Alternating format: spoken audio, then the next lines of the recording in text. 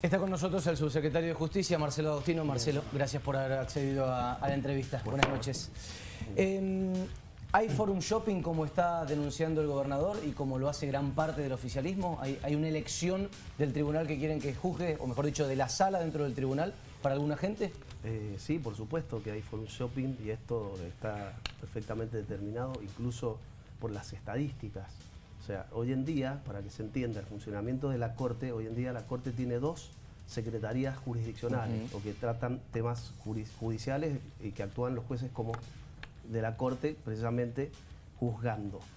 Una es la Sala 1, que tiene competencia en temas civiles, eh, en temas comerciales y en temas de familia, y otra la Sala 2, que tiene competencia en temas penales y laborales. Sí. Pero a su vez ambas cámaras son competentes por turnos determinados en todo lo que son eh, reclamos o recursos administrativos y en acciones de inconstitucionalidad. Exactamente. Al respecto, la sala 1 está en turno del primero al 15 de cada mes y la sala 2 está en turno del 15 en adelante hasta el fin de mes. Y el gobierno dice, los que quieren ir en contra nuestro van después de ese día 15 del mes para que les toque la sala 2, porque tiene dos jueces a, los que se les atribuye ser peronistas o fueron justamente nombrados durante gobiernos peronistas. A ver, ese no, ese no es precisamente el argumento, el argumento yo creo que es que ingresan a la Corte dentro de esta sala, que, te estoy diciendo, la mayoría de las causas.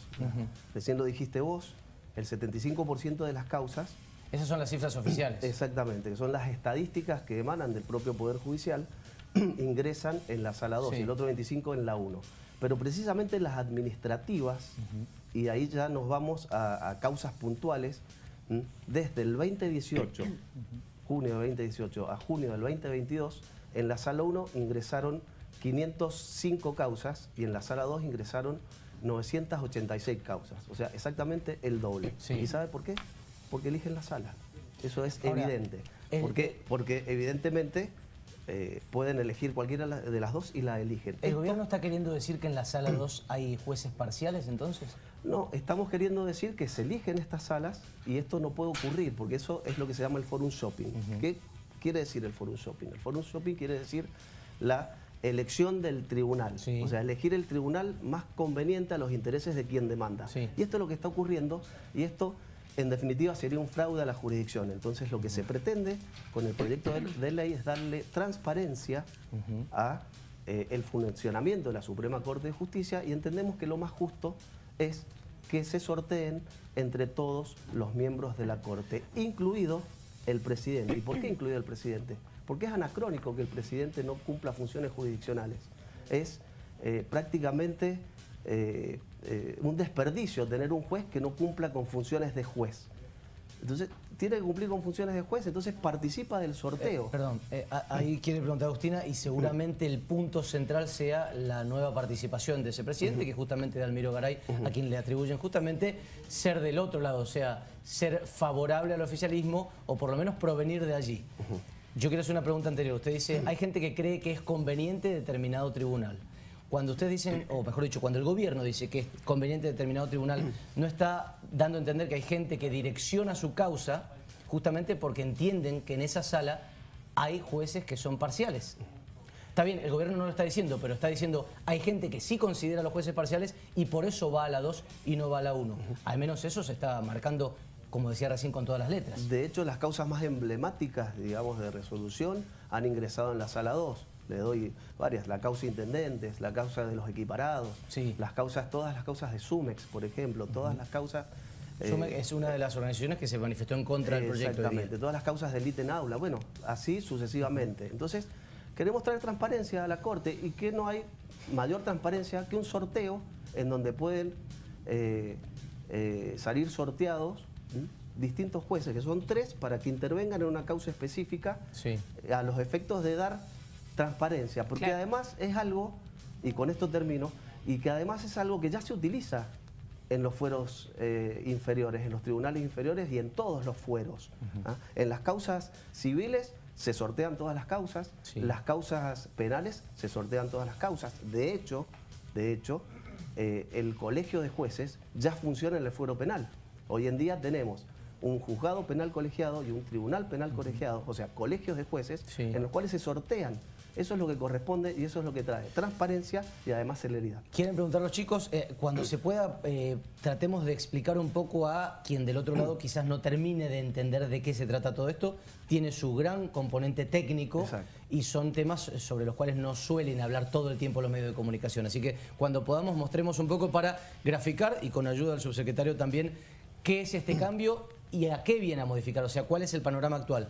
Eh, Agus, perdón, quería hacer ese pedido. Está claro, está claro que se habla de este sorteo de, eh, bueno, permitir que ingresen o que estén en este sorteo los siete miembros de la Suprema Corte.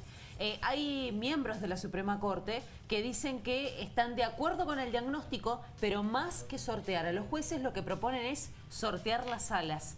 ¿Por qué no se pensó en esa alternativa? En vez de sortear a los siete, decir, bueno, o la sala 1 o la sala 2, pero por sorteo. Porque entendemos que lo más transparente precisamente es hacer un sorteo entre todos los ministros de la Corte, porque además, además creo que lo importante de este proyecto es precisamente lo que acabo de decir, que es la posibilidad de que el eh, presidente de la Corte intervenga por lo que acabo precisamente de decir. O sea, es un desperdicio, como decía recién, que el presidente de la Corte, que es un juez, que no cumpla funciones de juez. Seguro, pero ahí agregando al presidente de la Corte, vamos a tener una, un sorteo entre siete y volvemos a lo que planteaba incluso Julián en su editorial. Hoy hay jueces que son considerados, como se dice, filoperonistas y filoradicales. Estás poniendo en un sorteo, si se quiere, cuatro filoradicales y tres filoperonistas. Bueno, pero es el azar, digamos, nada más transparente que eso. Pero más allá de eso, digamos, si hoy nos vamos al planteo y al esquema que existe hoy, los, en, tus palabras, los eh, ministros de la Corte filo peronistas tienen el 100% de las causas que ingresan porque elijan el tribunal. Eso no es justicia y eso no es elegir el fuero. Por eso, pero y en todo caso, eh, seleccionar entre las dos salas, ¿no habría allí mayor parcialidad? O sea, que haya un sorteo, pero solamente con dos posibilidades. Como lo plantea, de hecho, eh, creo que lo plantea así Mario Adaro. Bueno, nosotros entendemos en su momento que el mejor, eh, el mejor eh, mecanismo y el mejor método es este, que es el que da más transparencia y que pone a todos los jueces en igualdad de condiciones. Repito, sorteando las dos salas, el presidente de la Corte no interviene en ninguna de ellas. La idea es que intervengan todos porque eso es el estilo y ese es el funcionamiento del colegio de jueces. Recordemos que todas estas reformas están eh, o esta precisamente están enmarcadas en todas las reformas que vienen realizándose en el ámbito de la justicia mendocina de hace seis años, siete años. Entonces, y ya se conoce el sistema del colegio de jueces. Es transparente, participan todos y permite al presidente de la Corte que intervenga. Este esquema que usted me dice que manifiesta el doctor Adaro, yo la verdad que no lo he escuchado, no permite la participación del presidente de la Corte. Nosotros entendemos que es un juez y tiene que tener funciones de juez. El, justicialismo salió a marcar un día después de que el gobernador presentara este, este proyecto sus diferencias y entendemos que eh, en principio las diferencias que marcó la presidenta del justicialismo, que es Anabel Fernández Agasti, es más o menos la postura que puede llegar a tener el justicialismo en la legislatura. Lo que dice Sagasti es que de esta manera el gobierno se, se quiere asegurar una mayoría absoluta dentro de la Corte y que también, entre otras cosas, lo dijo Adolfo Bermejo, es un golpe institucional, porque el gobierno quiere llegar a la suma del poder. ¿Qué respuesta se le da a ese justicialismo? Y por otro lado, ¿qué chances tiene el justicialismo de poder incorporar alguna modificación en este proyecto que ingresó el gobernador ya? Bueno, en principio, eh, respecto al tema de las, mayorías automáticas que, que estabas refiriendo, y respecto a lo que decías de, algunos referentes del justicialismo, entiendo que hasta ahora han sido eslogans nada más. O sea, mayorías automáticas. A ver por qué, expliquen por qué mayorías automáticas. ¿En qué sentido? Si vamos a sorteo. O sea, ¿cuál es la mayoría automática? O sea, yo lo que entiendo que los que se están oponiendo a este sistema, de este nuevo esquema, son los que precisamente se benefician del forum shopping, les gusta el forum shopping y no quieren decirlo ¿Por qué? Porque queda mal. No les sirve decir que si estamos yendo hacia un esquema mucho más transparente. Entonces, ellos establecen o manifiestan, como decía recién, eslogans manifestaciones, pero que no tienen asidero en la realidad, o por lo menos que digan por qué, en qué caso concreto. función de ese número que estaba hablando justamente de Agustina recién, de que hay en la conformación de, esta, de estos siete integrantes de la Corte, están diciendo, bueno, hay cuatro que son filo radicales y tres que son filo peronistas. Pero eso es azar. Como decía recién Julián, pueden tocar tres, dos, Pero estadísticamente habría más probabilidades. Bueno, pero eh, a ver, eh, eh, no, hay, no hay ningún tipo de inconveniente, no hay culpa de que hoy en día haya cuatro ministros de la Corte que hayan sido elegidos por gobiernos radicales y tres que hayan sido elegidos por, por gobiernos peronistas conforme las facultades que tiene todo gobernador constitucionales, constitucionales de poder enviar el pliego de un ministro de corte para que sea aprobado por el Senado. Esa es la conformación, son las mayorías, es la democracia, es lo que hay. O sea, yo no entiendo cómo puede ser que eh, haya personas que estén en contra de lo que es un sistema democrático como este, en donde hay un sistema con transparencia, en donde se eligen los jueces conforme un sorteo que ya se vienen haciendo eh, en, los tribunales inferiores y que es perfectamente auditable. Eh, doctor Agustino, Pablo Gerardi quiere hacerle una pregunta. Doctor, si este proyecto en la legislatura quisiera eh, sufrir algunas modificaciones, ¿están abiertos o qué cláusulas son innegociables dentro de, los tres, de las tres o cuatro características más importantes? A ver, esto está dentro del proceso, del proceso legislativo ya, ingresó en Cámara de Diputados. Entiendo, como todo proyecto de ley que ha sido enviado por el Poder Ejecutivo, que obviamente está sujeto a cualquier tipo de, opinión o está sujeto a cualquier tipo de aportes, en tanto y en cuanto no afecte el espíritu de la ley. El espíritu de la ley, ¿cuál es? Evitar el forum shopping, el espíritu de la ley es transparencia a través del sorteo por parte de todos los miembros de la Corte y, en definitiva, evitar esta, este mecanismo, esta maniobra que se viene realizando durante muchos, hace muchos años, a los efectos de otorgar una mayor transparencia en el sistema de justicia. En general, ese es el, ese es el, espíritu del proyecto. Lo pregunto porque ustedes tienen mayoría en las dos cámaras, podrían aprobarlo como está y cerrarse. Pero si, por ejemplo, una, opinión venga y dice, bueno, saquemos el presidente de los sorteos o sorteemos entre las dos salas. Por supuesto que todos los aportes son bienvenidos en el ámbito de, la legislatura. Yo no soy legislador y yo no voy a participar dentro de, de la función que tienen los legisladores de modificar las leyes o los proyectos de ley antes de que sean leyes. Así que yo entiendo que todo es observable, repito, en tanto y en cuanto no afecte el espíritu de la ley. Eh, ¿Podemos mostrar un poquito de cómo funciona para si hay alguien del otro lado que todavía no termina de captar de qué se trata este proyecto que está llevando adelante el gobierno de la provincia, que presentó ayer precisamente en la legislatura y que busca cambiar la Suprema Corte de Justicia? Observen esto, esto es la sala 1 atiende eh, causas civiles y comerciales, tiene esta conformación. Los jueces Julio Gómez, María Teresa Day, la última en incorporarse al máximo tribunal, y Pedro Llorente. La sala de la cual se está hablando como la destinataria de este presunto forum shopping es la que vas a ver ahora en tu pantalla, que es la sala número 2. Si hay alguna, algún punto en el cual usted no coincida, lo puede decir eh, subsecretario. Mario Daro, Omar Palermo y José Valerio. La denuncia de Forum Shopping del gobierno de la provincia está focalizada en esta sala, penal y laboral. Y ahora vamos a ver de qué se trata el proyecto que ingresó ayer en la legislatura, que tiene que pasar por distintos estadios, como por ejemplo comisiones. El presidente de la Corte de Almiro Garay, destacado aquí en esta imagen, pasaría a tener otra importancia porque ya no solamente fallaría en esas reuniones en pleno, sino que lo podría hacer en cualquier tipo de causa siempre que salga sorteado. Cambiaría la distribución entonces de las causas, o al menos la forma en que se distribuyen, el gobierno necesita, o mejor dicho, el oficialismo necesita mayoría simple en la legislatura, dos tercios este, no, no son necesarios, y modificaría la ley de composición del tribunal, que esto es una obviedad, la ley 4.969. Esta es la manera más simple y llana que teníamos o que encontramos de explicar de qué se trata todo este proyecto. Hay una pregunta, o varias mejor dicho. Dado que en la sala número uno pasaría lo contrario de lo que ustedes denuncian, es decir, ahí están Dey y Llorente, ¿no? no hay o, no ha habido forum shopping de ese lado, es decir, gente que ha presentado causas allí, no ha estado buscando esta composición? Es probable que pueda haber ocurrido ese, aspecto. Ahora, repito, nos movemos por las estadísticas y las estadísticas dicen que el 75% de las causas van a la sala 2. Y lo que se está haciendo con eso, y conforme tu pregunta, eh, también se está rompiendo eventualmente también con esta sala que conforme lo que acabas de comentar, hay dos magistrados que han sido ingresados bajo gobiernos radicales, o sea, debería...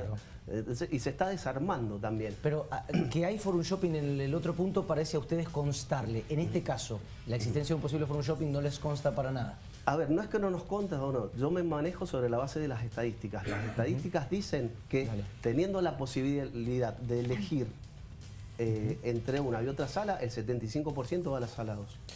Eh, ¿El que se está beneficiando de esto es el Partido Justicialista, según ustedes?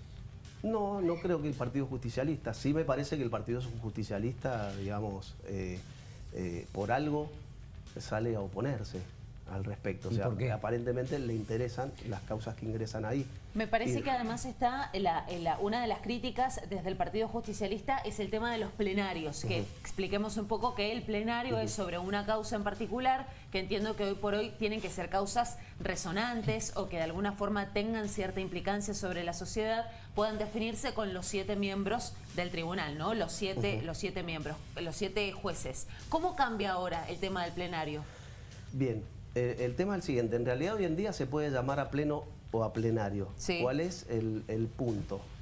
Hay ciertos, ciertas causas que se entienden de una importancia institucional Sí. que dependen de mayorías calificadas. Bien. De modo tal que este tipo de causas, eh, la ley directamente establece que van a ir a pleno para evitar suspicacias directamente. Y por ejemplo, te doy un ejemplo, las acciones de inconstitucionalidad. Una acción de inconstitucionalidad, eh, el control de determinar la constitucionalidad o no de una ley que tiene el Poder eh, Judicial respecto del Poder Legislativo sobre la base del sistema de control de poderes en el sistema republicano, eh, hace que pueda declarar inconstitucional una norma de otro poder. Nosotros entendemos para que, que Perdón, para me, ellos... perdón, me perdí un poco eh, quizás a alguien le pasó lo mismo. Mm. ¿Puede volver 15 segundos para atrás, así como un rewind? Bien, la Corte tiene la posibilidad de declarar a una ley que Sí. emana de otro poder, que es el poder legislativo, Sí. que ésta sea inconstitucional o Claro. no. ¿ah? Porque puede estimar que esa ley eh, viola, choca contra algún artículo de la Constitución Como Provincial se planteó o de la nacional. 7722, por ejemplo. Exactamente. Entonces, entendemos nosotros, hoy en día con esta conformación, ¿m? puede ingresar en cualquiera de las salas y pueden elegir cualquiera de las salas. Sí. Pero solamente con dos votos. De dos miembros de esa sala, porque se requieren mayoría, se puede declarar la inconstitucionalidad de una norma. Nosotros entendemos que este es un caso que debe ser llevado a pleno. ¿Por qué? Porque requiere de mayorías calificadas, o sea, requiere de mayores eh, de, de más mayorías, digamos, en el sentido de mayores jueces entendiendo sobre la causa y que esos jueces se sienten, busquen sus mayorías y establezcan si una ley puede no ser O sea, inconstitucional. cualquier planteo de inconstitucionalidad puede ser tratado en pleno. Exactamente. Que hoy en día se puede hacer eh, directamente... A pedido del Ejecutivo, a- a- ¿no? No, no, no. Hoy en día se puede hacer a pedido del presidente de la Corte Ajá. o a pedido del presidente de la sala. Ajá. Lo que Ah. está diciendo el, el peronismo también es que en la actualidad el, el oficialismo se vale de los plenarios para poder obtener las, los fallos que cree que son convenientes. Se están quejando de que llaman a plenario con una dudosa legitimidad. Eh, fundamentalmente lo salieron a decir directamente dos integrantes de la Corte, digo, de la Sala 2 puntualmente. Eh, creo que señalan como uno de los ejemplos el ITE Maula. Claro. Eh, del año 2016 al 2022, eh, sobre 9.000 causas se llamó a pleno, a pleno, se han llamado solamente 24. Ah, sea que eso no es cierto que se llaman, eso son las estadísticas, hay, que ir y verlas, nada más. Ah, sí entendemos que requiere de mayorías calificadas y en esto, ya que han comentado la opinión de algunos ministros de la Corte, yo eh, coincido con el doctor Palermo. El doctor Palermo, en instancias de consultarle sobre la, sobre la ampliación de la Corte Nacional, manifestó que le parecía la ampliación de, la Corte, de los miembros de la Corte a nivel nacional, que algunos estimaban en hacerlos en llegar hasta 20, etcétera, etcétera, a nivel nacional. Ahí no se queja el peronismo ¿m? y el kirchnerismo. A 25 lo quieren. Exactamente, ahí no se queja. Eh, bueno, en ese sentido, ¿ah? el doctor Palermo opinó, porque ha sido consultor del presidente, claro, sí. que entendía que el, el cinco miembros era un, eh, un número exiguo, que debía aumentarse. ¿Por qué? Porque en las cortes, tanto de la nación, y yo eh, también agrego de la provincia, ¿ah? se definen cuestiones de importancia institucional que requieren mayorías especiales. ¿ah? Bueno, esto es el mismo argumento.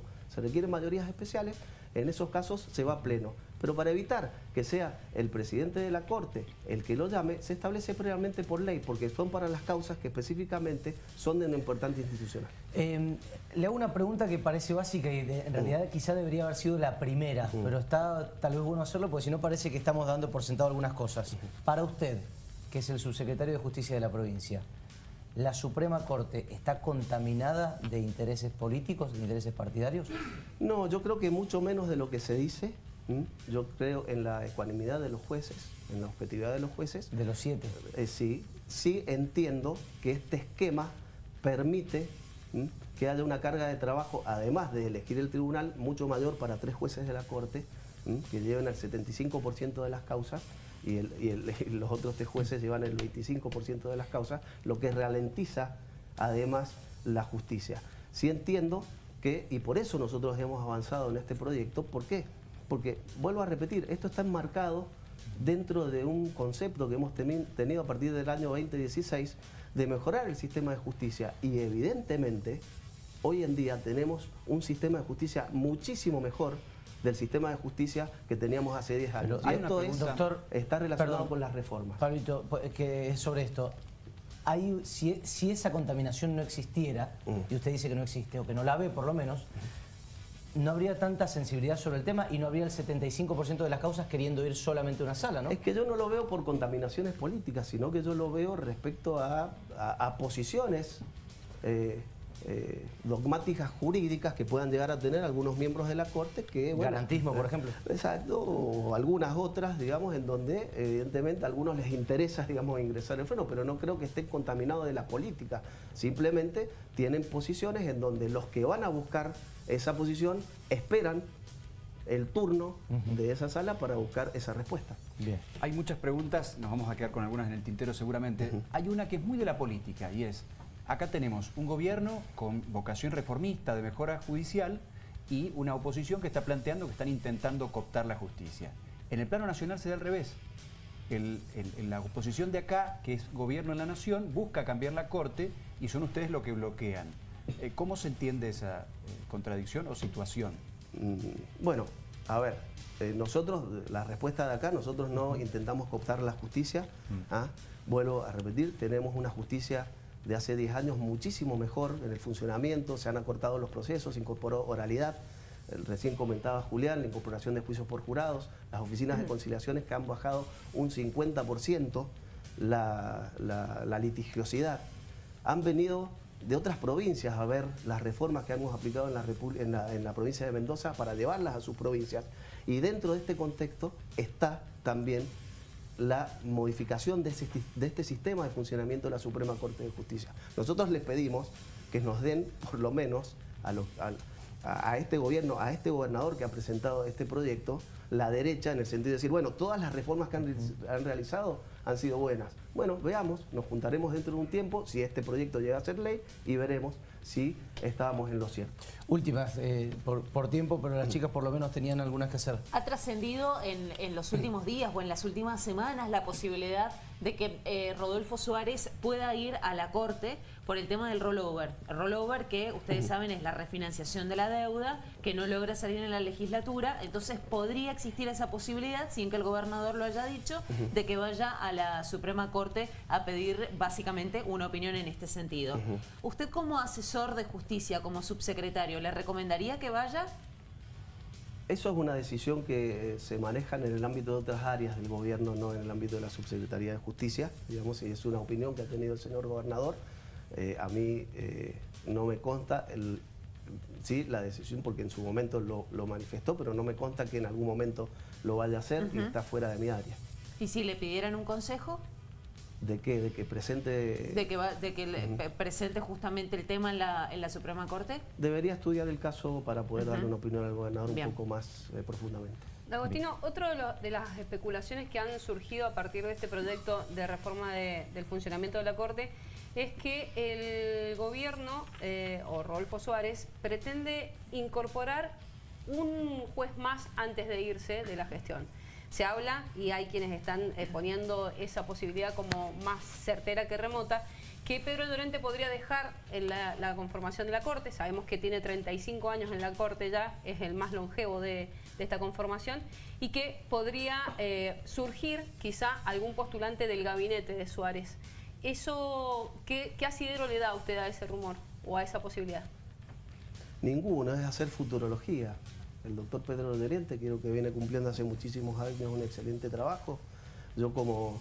Pero como- podría jubilarse, Como, relación, esa es una decisión de él, yo no voy a opinar respecto de eso. Yo con- en mi relación de, de, de- de- de mi relación de, de- entre el Poder Ejecutivo y el Poder eh, Judicial, eh, que es la, la función que a mí me toca cumplir. He tenido oportunidades de charlar con el doctor Pedro Llorente y como también he tenido oportunidad de hablar con todos los ministros de la Suprema Corte, eh, porque, porque precisamente esa es mi función, absolutamente todos, por distintos temas.